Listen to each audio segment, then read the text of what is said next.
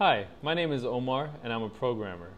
Today I'm going to show you how to get rid of the comment URL field on your WordPress blog, in your comments section of your WordPress blog. So the first thing you want to do is log into your dashboard, which you see I've already done here. Now, what you're going to do is change the appearance.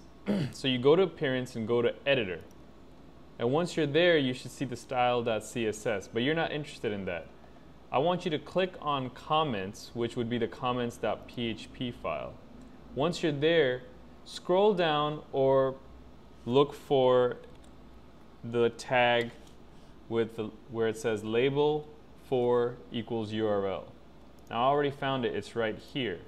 All you have to do is delete this part where it says label and the input that comes in right afterwards. You should also delete the navigation as well. Once you've done that, you should have no longer have the comment URL field in your comments section of your WordPress blog. I'm Omar and I just showed you how to remove the comments URL field in your comments section of your WordPress blog. Thanks for watching.